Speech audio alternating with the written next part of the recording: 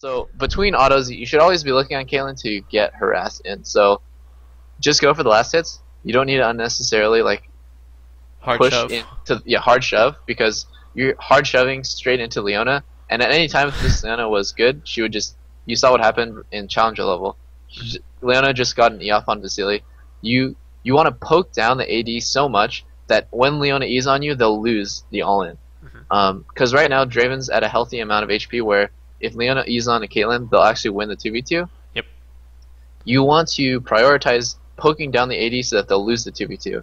Um, you see how much damage that Blitzcrank just took? Like that was 60, 70 percent of his HP in one combo. They could do the same thing to Caitlyn. Uh, there's no difference. Actually, Blitzcrank is probably more tanky than Caitlyn. So, yeah, at this point they're getting zoned because Caitlyn played the lane wrong.